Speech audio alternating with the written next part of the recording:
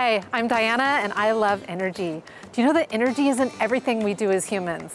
From our space heating and cooling, from our appliances, our charging our phones, our transportation, it's in everything we do.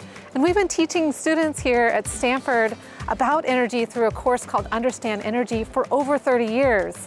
And now we're taking the content of that course and bringing it to you and a free and publicly available website. Our Understand Energy Learning Hub lets you get in there and answers your energy questions. Any questions you have about fossil fuels and their impact on the environment, about solar and wind and how we're managing the variability of those resources. All of that is now being provided to you in an easy to navigate way so that you can learn uh, and answer all of these energy questions. So to get a little insight on that, I'm gonna send you over to my friend, Miss Frizzle. So Miss Frizzle, take it away. Check this out. Somewhere I just made a power plant provide more electricity to the grid in order to power my laptop.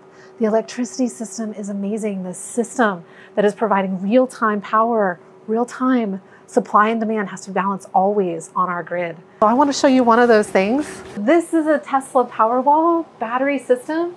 And what this is doing is improving the reliability and the flexibility of our electricity grid.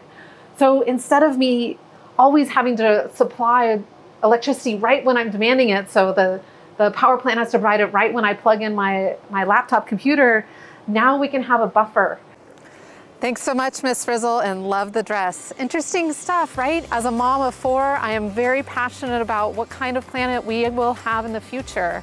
Understanding energy is so important in everything we do in terms of human development, energy equity, justice, and it also is the biggest contributor to, to some of the big harms that we're doing to our planet. Biggest contributor to climate change, huge contributor to air pollution and human health. It has all of these impacts on us as humans. Our Understand Energy Learning Hub, you can go to the website, it's posted below. We make it fun for you. We have lots of videos and facts, and we keep it all updated. Join us in this Understand Energy learning journey.